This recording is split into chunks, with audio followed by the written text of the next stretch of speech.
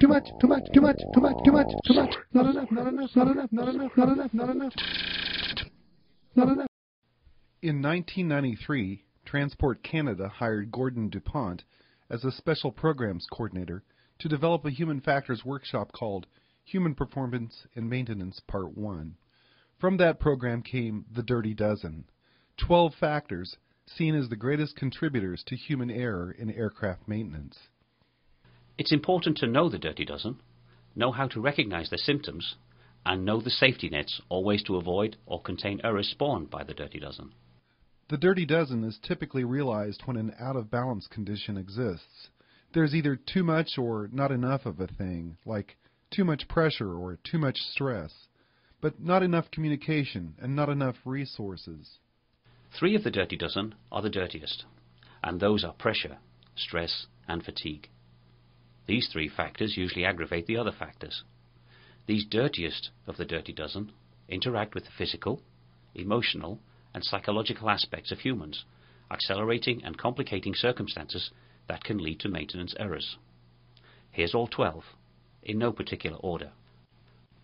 Lack of communications, Complacency, lack of knowledge, distraction, lack of teamwork, fatigue, lack of parts, pressure, lack of assertiveness, stress, lack of awareness. and norms. Let's take a closer look at each of the dirty dozen of human factors.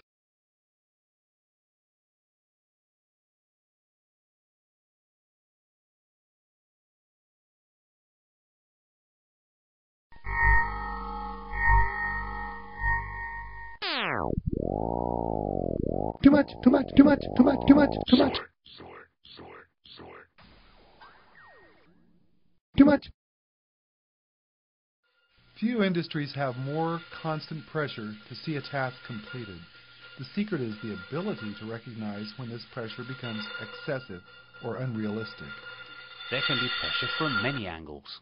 Pressure to get to the gate. Scheduled deadlines that are too tight. Flat rate work orders that should have been time based. Too many projects, too little time. Hovering customers. Irate management. Pilot egos.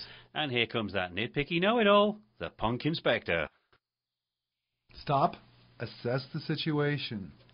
Look at your work rationally. Can it be done safely in the time allotted and with the tools and parts available?